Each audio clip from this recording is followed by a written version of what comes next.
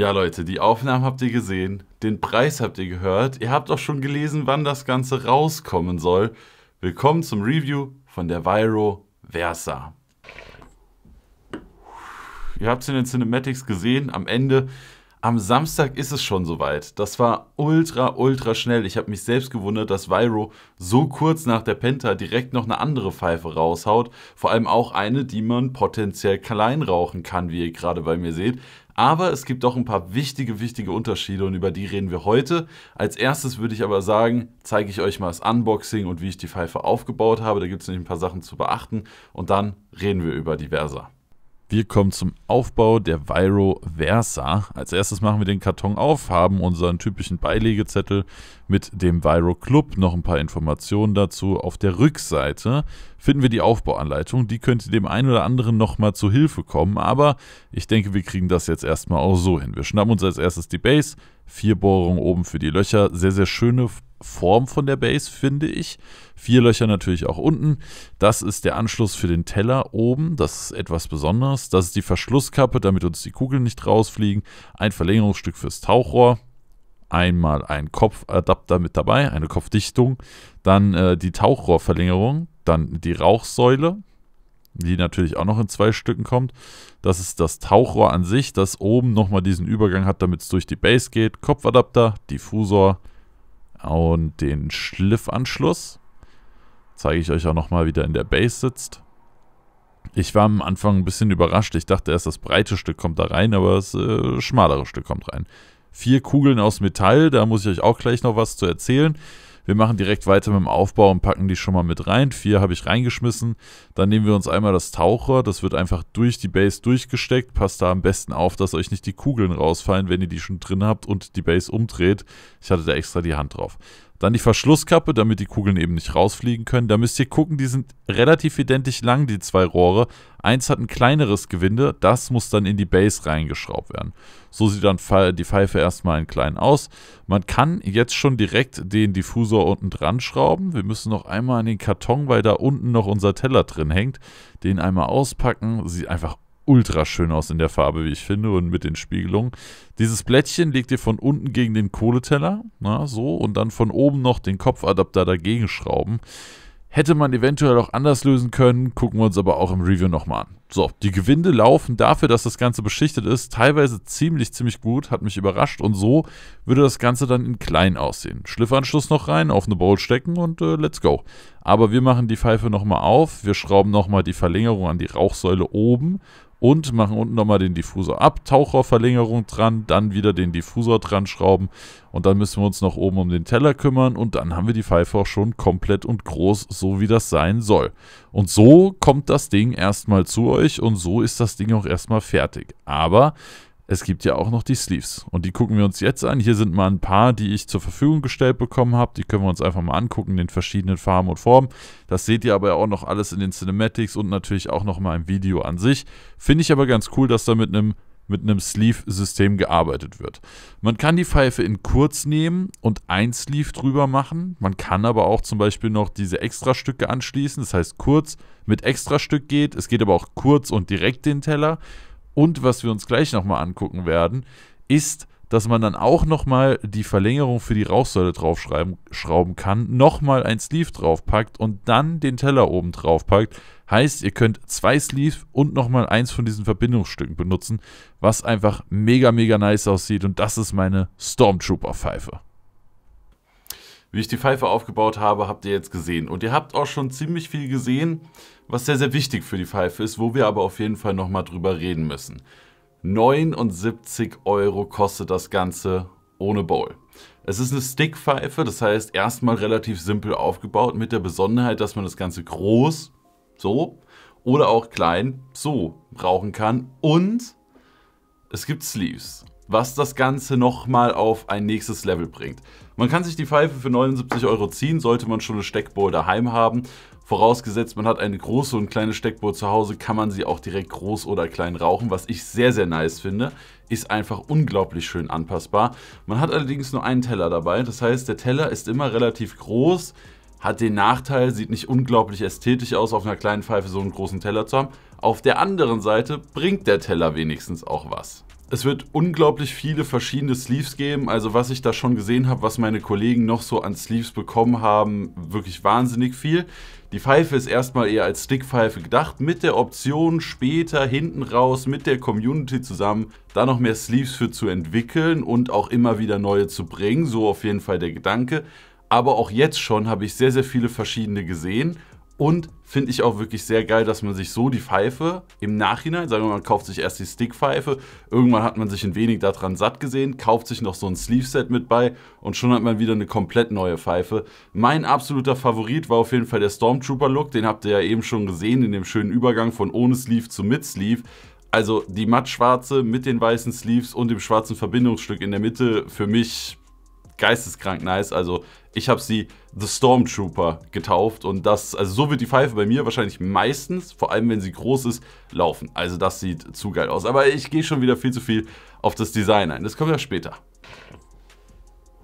Ihr könnt die Pfeife auch mit Bowl kaufen, dann kostet das Ganze 100 Euro, beziehungsweise 99. Wir sind noch nicht ganz in den Triple Digits, aber 99 Euro mit einer Bowl ist immer noch, finde ich, ein absoluter Killerpreis. Also ich habe ein paar Sachen, die ich an der Pfeife noch bemängeln muss. Das sind keine großen Mängel, aber es sind ein paar Sachen, die mich so ein kleines bisschen gestört haben, wo ich mich frage, warum? Vielleicht gibt es da auch gute Antworten für, ich weiß es nicht, aber da kommen wir auf jeden Fall noch drauf. Aber man muss sich immer wieder in Gedanken halten, dass dieses Ding ohne Bowl 79 Euro kostet. Und 79 Euro ist einfach krass günstig, kann man nicht anders sagen. Für eine beschichtete Edelstahlpfeife ist das geisteskrank. Und speaking of Edelstahl, ich würde sagen, wir kommen als erstes mal zu den Materialien, der Verarbeitung und der Qualität von der Pfeife. Alle vier Modelle, es gibt vier Farben, normales Edelstahl, Gold, Schwarz, mattschwarz muss man sagen. Das ist nicht einfach nur schwarz, ist ein richtig geiles mattschwarz und es gibt auch noch ein Roségold, das aber erstmal nur in klein rauskommt, dafür aber auch ein Zehner günstiger ist. Sprich, die Roségoldene Variante, die ich hier gerade noch liegen habe, die kostet nicht 79, sondern 69 Euro, kommt aber nur in der kleinen Variante, so als Special Edition. Von der großen Versa gibt es auf jeden Fall drei, Silber, Gold und Mattschwarz. Und bei den Farben hatte ich als erstes die große Sorge, oh Gott, könnte das jetzt eine Alupfeife sein, weil Alu ist deutlich günstiger und deutlich einfacher zu färben als Edelstahl. Aber, Entwarnung, es ist Edelstahl, der PVD beschichtet wurde und so eben die Farbe zustande kommt. Und das sieht wirklich sehr nice aus. Also die Farben sind Killer getroffen, finde ich. Für mich der absolute Favorit. Dieses Mattschwarz, vielleicht sogar die am wenigsten besondere Farbe. Also ich meine, klar, es gibt normal Edelstahl, aber Gold und Roségold sind vielleicht die krasseren Farben, aber mich holt dieses Mattschwarz einfach so krass ab. Ich habe mich instant verliebt in diese Farbe. Also ich greife fast immer zu der mattschwarzen Versa. Auch wenn Gold und Roségold und auch normales Edelstahl nice aussieht, Digga, mattschwarz, vorbei. Die Sleeves sind nicht aus Edelstahl, die sind aus Aluminium, wurden aber auch nochmal beschichtet. Für die Sleeves, die eh nur draußen auf der Rauchsäule sitzen, finde ich das jetzt nicht so wild. Mich persönlich stört das nicht. Die sind wunderbar haltbar, von daher habe ich da keinerlei Sorge. Man sieht bei den Sleeves innen drin ab und zu, dass dann so der Farbverlauf da so ein bisschen nachlässt. Das ist aber ganz normal. Die werden halt irgendwie von innen aufgehängt, dann in dieses PVD-Beschichtungsding gehängt und dann kommt da von außen die Farbe drauf, die auch sehr, sehr nice aussieht. Die hat so eine leichte Körnung, so eine leichte Textur. Finde ich aber tatsächlich extrem geil, statt die einfach nur komplett glatt zu machen. Man hat ab und zu mal eine mini kleine Unreinheit drinne, aber nichts Wildes und ich finde, das trägt so ein bisschen zu der Textur bei. Also ich finde es irgendwie, it's not a bug, it's a feature. Also es stört mich nicht, sondern ich finde es tatsächlich noch nice, dass da so ein bisschen Textur mit drin ist. Von den Materialien her bin ich also schon mal zufrieden. Wir haben Edelstahl, PVD-Beschichtung und das einzige, was aus Alu ist, das sind die Sleeves, aber die sind auch nochmal nice beschichtet und sieht top aus. Die Verarbeitung an sich. Dadurch, dass das Edelstahl, nachdem es gedreht und verarbeitet wurde, noch PVD beschichtet wurde, merkt man bei den ersten paar Malen vom Zusammenschrauben der Pfeife, dass das noch so ein bisschen schwer geht. Aber ich kann euch sagen, bei der mattschwarzen, die ich jetzt schon, weiß ich nicht, 5, 6, 7 Mal auseinandergeschraubt und wieder zusammengeschraubt habe, das löst sich. Also diese leichte Beschichtung auf dem Gewinde, die das einfache Zusammenschrauben ein kleines bisschen verhindert. Also ihr kriegt das zusammen, ihr müsst euch keine Sorgen machen. Aber man merkt, dass es am Anfang ein bisschen schwerer geht. Nach ein paar Mal legt sich das aber und dann laufen die Gewinde wunderbar. Und auch wenn ich bei den Sleeves ab und zu eine kleine Unreinheit gefunden habe, die ich wie gesagt nicht so schlimm finde, bei der Pfeife war alles tipptopp. Also weder Kratzer, noch irgendwie Unreinheiten, noch Unstimmigkeiten in der Beschichtung. Das war wunderbar. Und das bei der 79 Euro Pfeife, Props. Alles in allem finde ich also die Wahl bei den Materialien und die Verarbeitung für 79 Euro. Wie oft habe ich eigentlich schon 79 Euro gesagt? Aber es ist halt auch wirklich zu krass, dass sie nur 79 Euro kostet. Für diese Pfeife und für den Preis finde ich die Verarbeitung, die Materialien wunderbar. Gibt es überhaupt nichts zu meckern.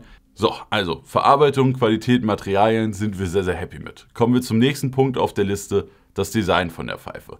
Beim Design sage ich immer vorneweg, die Pfeife muss euch gefallen. Ich kann euch nur kurz erzählen, ob sie mir gefällt oder ob sie mir nicht gefällt und warum das eine oder das andere. Das ist ein bisschen schwierig bei der Versa. An sich ist ja nicht viel dran. Es ist einfach nur ein Rohr. Es ist schließlich eine Stickpfeife. Da ist halt meistens nicht so viel dran.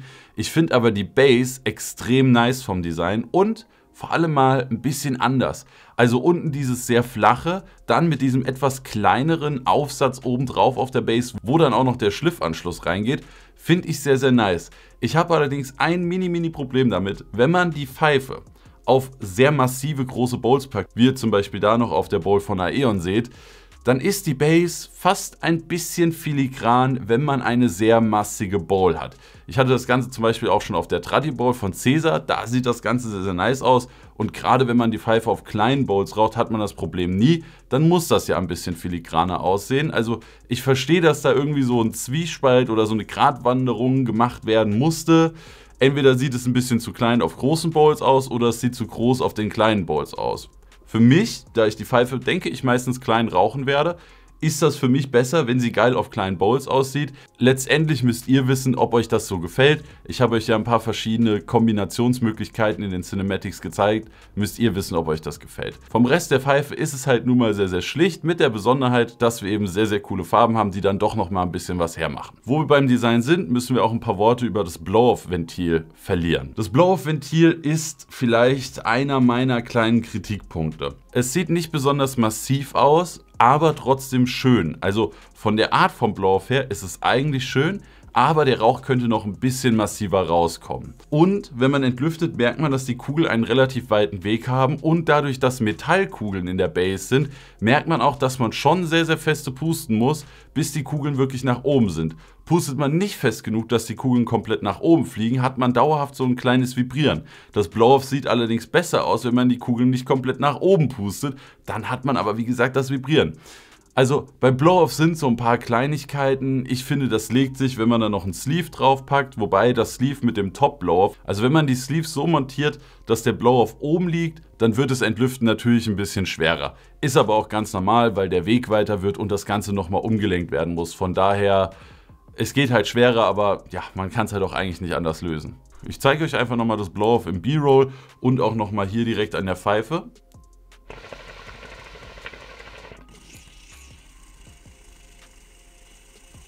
Also ihr seht das, das sieht auf keinen Fall schlecht aus.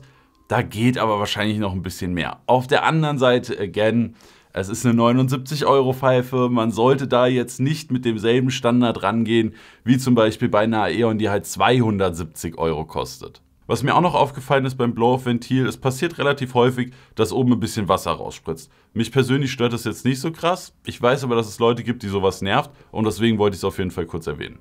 Abgesehen von den paar Kleinigkeiten, die ich eben genannt habe, finde ich das Design alles in allem für den Preis unglaublich geil und unglaublich gelungen. Und gerade das mit den Farben und die Möglichkeit, die Pfeife groß und klein zu rauchen, das holt mich einfach ab. Kommen wir als nächstes zum Rauchverhalten. Beim Rauchverhalten hatte ich beim Unboxing erstmal ein bisschen Angst. Der Schlauchanschluss sieht sehr, sehr klein aus. Und ich dachte mir erst so, oh mein Gott, wenn das so klein ist und die Bohrung noch ein bisschen kleiner ist, kann da überhaupt noch genug Durchzug rauskommen. Da auf jeden Fall Entwarnung. Der Durchzug von der Versa ist angenehm. Das ist jetzt kein Durchzugsmonster. Das ist so, so eine Mischung aus dem typischen Durchzug, wie man ihn von der Aeon kennt, gepaart mit einer typisch russischen. Also irgendwo so dazwischen, da ist die Versa. Mit dem Diffusor drauf ist es unglaublich gleichmäßig zu ziehen. Fühlt sich auch sehr, sehr nice an. Dem Durchzug würde ich auf der Skala von der 0 bis 10 eine 7,5 geben. Da sind in letzter Zeit sehr, sehr viele Pfeifen und da sehe ich eben auch diverser. Vom Anzug her ist es natürlich so, dass wir die Pfeife groß und klein rauchen können.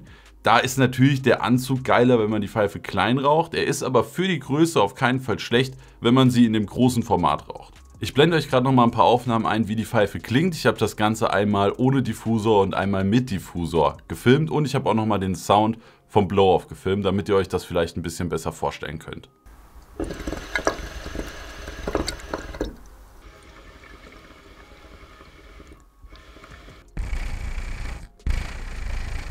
Also, alles in allem, Rauchverhalten, Durchzug so eine 7,5, Anzug sehr, sehr gut, wenn im kleinen Format, etwas schlechter, aber bei Weitem nicht schlecht, wenn man die Pfeife groß raucht. Und dann kommen wir auch schon zum Fazit von der Versa. Ich denke, das Fazit können wir relativ kurz und knapp halten, das könnt ihr euch schon denken. Die Pfeife hat ein paar Kleinigkeiten, die mich ein kleines bisschen gestört haben, aber again, zu dem Preis von 79 Euro finde ich, darf man da einfach nicht zu viel meckern. Es ist einfach für mich die Pfeife für jemand, der einfach mal was Neues haben will, jetzt aber nicht so viel Geld ausgeben will und im besten Fall vielleicht sogar schon eine Bowl oder zwei daheim hat. Ich denke, einige von euch werden ja schon die eine oder andere nice Cäsar oder Eon oder Mose oder oder oder Bowl daheim haben. Und für die Leute, die eine geile Bowl schon daheim haben und einfach nochmal eine neue Pfeife haben wollen und vielleicht mal eine goldene, roségoldene, mattschwarze haben wollen, ist die Versa unglaublich geil. Vor allem für den Preis von 80 Euro. Ne, also ihr habt es durch das Review schon mitbekommen, die paar Kleinigkeiten, der Blow-Off ist nicht perfekt, die Kugeln vibrieren manchmal ein bisschen, die Gewinde laufen am Anfang nicht perfekt, dann aber doch ziemlich gut. So ein paar Kleinigkeiten, die aber alle letztendlich bei dem Preispunkt absolut nicht schlimm sind. Lasst mich gerne in den Kommentaren wissen, was ihr von der Pfeife haltet. Wollt ihr euch eine kaufen? Habt ihr euch vielleicht gerade eine andere gekauft und deswegen holt ihr euch jetzt die Versa nicht? Lasst es mich gerne in den Kommentaren wissen. Wenn euch das Video gefallen hat, sehr, sehr gerne einen Daumen nach oben oder ein Abo dalassen. Das würde mir unglaublich helfen. Und dann bis zum nächsten Mal. Eure Shisha WG.